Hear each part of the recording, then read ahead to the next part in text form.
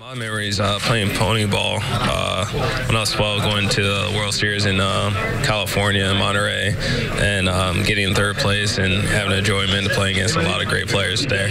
What's the earliest you remember being out on a baseball field? Earliest, uh, I have pictures when I was like three years old and having big ears, and I just grew into them. It was an exciting time. You know, you didn't have to worry about getting base hits, and you're just just out there having fun. So it was. Uh, you know, I think it, it, was it was the best best time of playing baseball. Um, you know, you go out there, play with your friends, and you know enjoy uh, you know enjoy the enjoy the day at the park. You know, I think it was you know, when I was playing at that age, it was uh, you know it was a long day. It was from seven o'clock in the morning, play your game, and then after it was you know playing with every uh, with every other kid on the in, in, the in the in the park, playing you know team two man ball, playing pepper. You know, I mean it was it was it was a whole day event. So it was uh you know something that you know we'll never forget, and you know it was, it was an exciting time where you didn't have to worry about you know the outcome of, of scores and all that. You know, you were just out there, you know, just enjoying yourself and uh, you know just having fun. Oh, mainly just traveling with my brother and my family. You know, my whole family just going from state to state, playing in, you know, double ABC and triple crown tournaments, stuff like that. So it was a lot of fun. When was the first time you remember being out on a baseball field? At what age? Probably five years old. I think it was still T-ball back then, and uh, probably missing the ball or just hitting a ground ball. And it wasn't really baseball, you know. It was just kind of kids running around on a baseball field, so it was fun. Memories of being a little leaguer. Um, just going out and, and having fun. I mean, uh, it was it was something that me and my dad, my uncle, my cousins, we used to always go to the park, and and it was just going out and throwing the ball around, hitting batting practice, and going and shagging them because we only had ten balls, you know.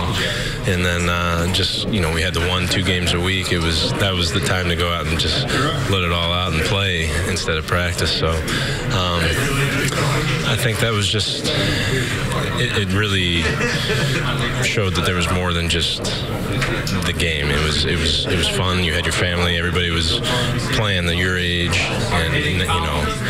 Um, just learning, you know, it, helps you mature into a person more than just a player. It's just the team atmosphere, and it's something that you can use off the field too.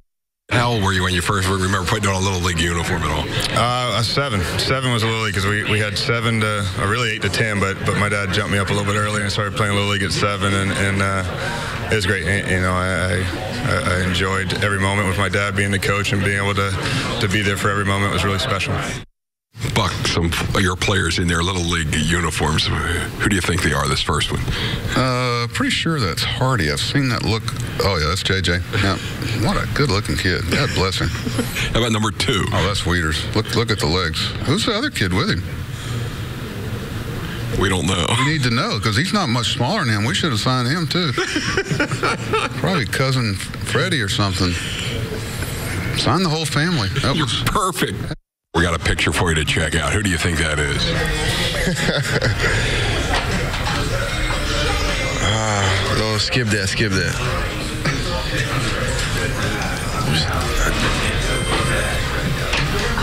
That look like who's that? Trumbo? Mark Trumbo? No. Hardy? Yes, sir. Yeah, it. All right, Caleb, we've got a couple of Little League players that are your teammates right now and photos here on the computer. We want to see if you can identify them. So here's number one. Ooh, good looking face. Is that JJ Hardy? You are correct, sir. Uh, you got it perfectly. Let's go to number two. That was J.J. Hardy. Now number two. Well, he's got a sister. That's Wieters. That's got to be Wieters. yeah, that's definitely Wieters. You're amazing. Two for two without hesitation. You know, I I I just guessed. Players had a great time talking about themselves as kids. There's no doubt about that. How about your memories, Rick, when you were a little leaguer? Well, I have a lot of great memories about my little league days. But first, let's go take a look at another little uh, picture of some minor league, uh, Oh. little league guys, and see if you recognize anybody in this picture. Who do you think that guy is on the right, Tom Davis? That's what I was pretending I was Gus Triandos with the shin guards on. Oh my gosh! I'm telling you, what did they draft you out of the Paul Bunyan League up in the Northwest and bring you in? You're one and a half times bigger than every kid on your little league team. And what are you doing with those shin guards? I was a catcher. Oh my gosh! Did you catch the ball or just block everything? You totally shocked me with that. I had no idea that one was coming. oh my! I do remember this. The name of the team was Felser Shoes when I was in a little league. You know, they used to go around to each individual uh, company and, and try to sell off so they could pay for the uniforms and everything like that. And my first year in little league baseball, I went 10 for 37, so that was a 270 batting average. I remember You, all you look like a Mark Trumbo, and that, you know, it was amazing. I had a I had a great minor league, uh, little league career.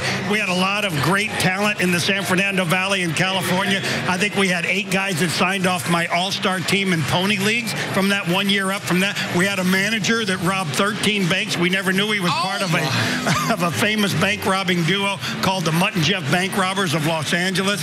It was it, we had some exciting times. But the Bat Boy, that show you how good we are. The Bat Boy in our team was Robin Yount, a Hall of Oh, Famer. my. I never got to play on the All Star team, so he and I would just play catch and do things. I would cry a lot because I wasn't playing. That is a great story. but we had some great times in, in Little League and Pony League baseball.